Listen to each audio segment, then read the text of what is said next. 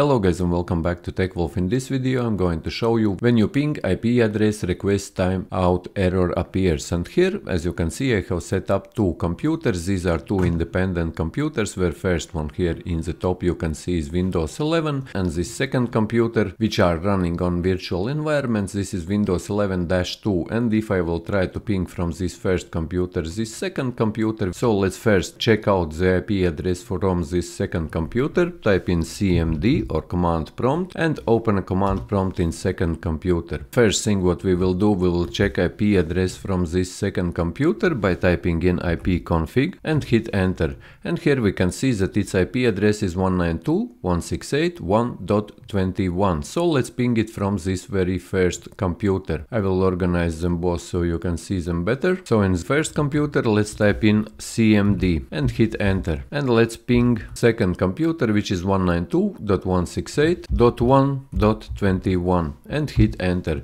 And you will see that ping IP address request timed out. And on Windows environments most likely or in 99% of cases this is firewall issue. If we now go into the second computer, I will open this in full screen, right click on start icon and click into the system. And here on the left hand side navigation. At the bottom click into privacy and security. And here at the very top very first tab Windows security click into it and here you will see your firewall and network protection click into it.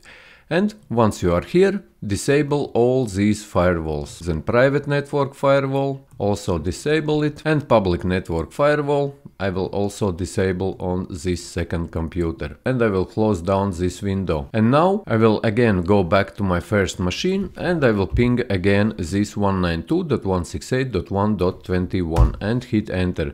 And you can see that ping requests are going through. So if you are using Windows machines, most likely the firewall is blocking. I showed you how to disable firewall in general and you need to disable firewall on both Windows machines. And I showed you the solution how you can do it manually how you can disable firewall in general. However, if you need a real life solution, then you will need to enable ping requests on firewalls rather than turning off firewall. So you would need to configure your firewall where I will create another video and will show you how to do it. And if this video will be created already, I will leave a link in first pinned comment of this video.